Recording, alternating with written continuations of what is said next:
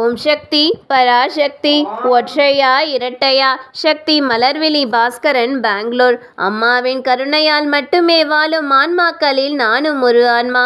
ரெண்டாயிரத்தி ஒன்பதாம் ஆண்டில் நம் குரு அம்மா அவர்களின் அருள் உள்ளத்தால் பாத பூஜையில் அந்த ஆண்டு சித்திரை பௌர்ணமியில் எங்களை இரட்டை நாக யாக குண்டத்தில் அமர்ந்து யாகம் செய்ய சொன்னார்கள். அவ்வாறே நாங்களும் குடும்பத்தோடு செய்தோம். அடுத்த ஆண்டு ரெண்டாயிரத்தி பத்து அம்மாவிடம் போய் ஒன்றும் கேட்கவில்லை. அதே இரட்டை நாக யாக குண்டத்திற்கு பணம் கட்ட வேண்டும் என்று மேலோட்டமாக நான் நினைத்தேன்.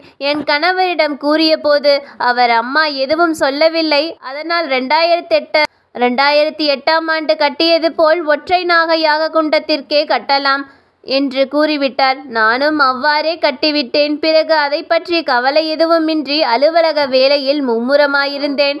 வேள்விக்கு சில வாரங்களுக்கு முன் ஏப்ரல் ரெண்டாம் தேதியன்று விடுமுறை நாள் என் மகள் பிளஸ் டூ தேர்வுக்கு படித்து கொண்டிருந்தாள். நான் சமையலறையில் மதிய உணவுக்கு வடகம் வறுக்க கடாயில் எண்ணெய் வைத்து அடுப்பை ஆன் பண்ணிவிட்டு அரிசி கழுவிய நீரை அதற்கு முன் ஒரு சித்திரை பௌர்ணமியில் ஆலயத்தில் வழங்கிய வேப்பங்கன்றுக்கு ஊற்றி வெளியே ஊற்றி வர வெளியே தோட்டத்திற்கு சென்றேன். அதோடு திரும்பாமல் ஏனோ ரோஜா செடியில் ரோஜாக்களை எல்லாம் பார்த்து ரசித்து கொண்டே நின்றேன். ஆறு நிமிடங்கள் நின்றிருப்பேன் என்று நினைக்கிறேன். பின்னர் வீட்டின் உள்ளே நுழையும் வீட்டின் உள்ளே நுழையும் போதுதான் சமையலறையில் இருந்து ஏதோ புகை வருவதையும் சமையலறை வாயிலில் உள்ளே செல்ல இருந்த என் மகளையும் பார்த்தேன். அந்த கணம்தான் எனக்கு நினைவுக்கு வந்தது. அடுப்பில் எண்ணெய் சட்டியை வைத்துவிட்டு வந்திருந்தேனே என்று. அதுவும் வெயில் காலமாக இருந்தாலும் அந்த கடாய் மெல்லியதாய் இருந்தாலும் மிக விரைவாகவே அதிக சூடு ஏறி புகை புகையை துவங்கி சூட்டினாலும் அந்த புகையையும் தாண்டி எண்ணெய் தீப்பற்றி கொண்டு எரிந்து கொண்டிருந்தது. அந்த சூட்டில் கொழுந்துவிட்டு எரிந்து கொண்டிருந்த தீயினால் ஒரு ஓரிரு நிமிடங்களில் சமையலறை முழுவதும் கரிய நிறப்புகை மூட்டமாகி ஜன்னல் வழியே புகை வெளியேற துவங்கியிருந்த சமையலறைக்குள் புகவிருந்த என் மகளை சட்டென நிறுத்தினேன். ஆனால் எனக்குமே அடுப்பை அணைக்க அருகில் செல்ல பயமாயிருந்தது. ஏனென்றால் கொழுந்துவிட்டு எரிந்து கொண்டிருந்த அந்த எண்ணெய் மிக ஆவேசமாக உஸ் உஸ் என்று சத்தத்தோடு அதிகரித்து கொண்டே எரிந்தது. அதற்கு காரணம் வெளியே போகும் முன்பே மின் புகைப்போக்கியை ஆன் பண்ணி இருந்தேன். அது வேக்கம் அதாவது வெற்றிடம் உருவாக்கி அதன் மூலம் புகையை உறிஞ்சி இழுத்து குழாய் வழியே வெளியே செலுத்தும். அமைப்பு எனவே தீயானது இயல்பாக அதிகரிக்காமல் புகை மட்டும் அதிவேகமாய் அதிகரித்து அதை பார்த்து எனக்கு மூணு வினாடிகள் என்ன செய்வதென்றே விளங்கவில்லை. ஸ்தம்பித்து நின்றவாறு ஓம் சக்தி ஓம் சக்தி அம்மா காப்பாத்துங்கம்மா என்று மட்டும் வாய்விட்டு கூறியபடியே கேஸ் அடுப்பின் விசை. விஷயை திருப்ப கையை அருகில் எடுத்து செல்லவே முடியாத அளவுக்கு ஆனாலும் புகையையும் மிகுதியாய் இருந்தது புகையும் மிகுதியாய் இருந்தது அப்போது என் கணவர் மாடியில் இருந்து இறங்கி வந்தார். சட்டென சமயோஜிதமாய் ஸ்டீல் தட்டை எண்ணெய் கடாயின் மீது மூடுமாறு போட்டார். தீ அணைந்தது அதற்கு பக்கத்து வீட்டுகளிலிருந்து பயந்து போய் என்ன ஏது என்று கேட்டார்கள். பின் ஒரு வழியாய் புகையெல்லாம் கொஞ்சமாய் அடங்கியது. அப்போதுதான் அடுப்பை பார்த்தேன். பார்த்த எனக்கு தூக்கி வாரி போட்டது. ஏனென்றால் நாகத்தின் வடிவில் ஏதோ கண்டேன். என்னவென்று புரிந்ததும் திகைத்து போனேன். என்னால் நம்பவே முடியவில்லை.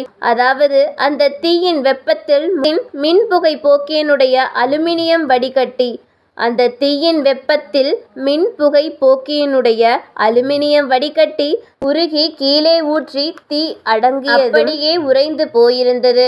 ஆனால் அது ஒரு நாக யாக குண்டத்தின் வடிவத்தில் அச்சு வார்த்ததை போல் அமைந்திருந்தது. எப்படி அடுப்புக்கு ஏதும் சேதமில்லை.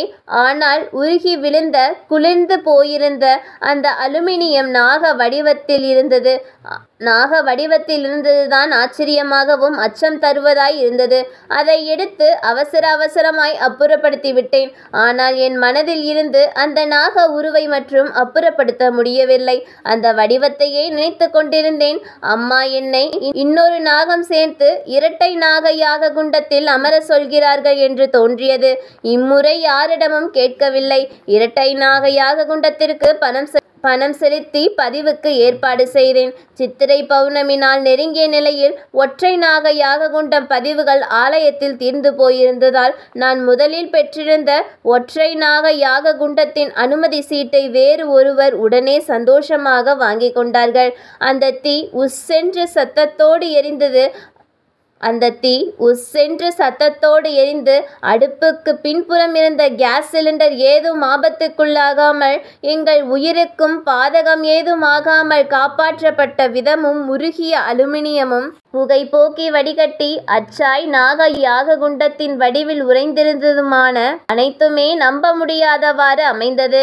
அன்னையின் அருள் எங்களை காக்கும் கருணையோடு செயல்பட்ட விதத்தை நினைக்க நினைக்க புகை போக்கி புகை போக்கி வடிகட்டி அச்சாய் நாகையாக குண்டத்தின் வடிவில் உறைந்திருந்ததுமான அனைத்துமே நம்ப முடியாதவாறு அமைந்தது. அன்னையின் அருள் எங்களை காக்கும் கருணையோடு செயல்பட்ட வி- நினைக்க நினைக்க வியப்பு அடங்கவில்லை. ரெண்டாயிரத்தி ஒன்பதாம் ஆண்டு முதல் சித்திரை பௌர்ணமி சமயத்தில் என் வாழ்வில் ஏதோ ஒரு ஆபத்து வந்து கொண்டே இருந்தது. அந்த ஆபத்திலிருந்து அன்னையும் என்னை அன்னையும் என்னை என் குடும்பத்தையும் காப்பாற்றிக் கொண்டே வந்திருக்கிறார்கள். கணக்கோ அம்மாவின் கணக்கு.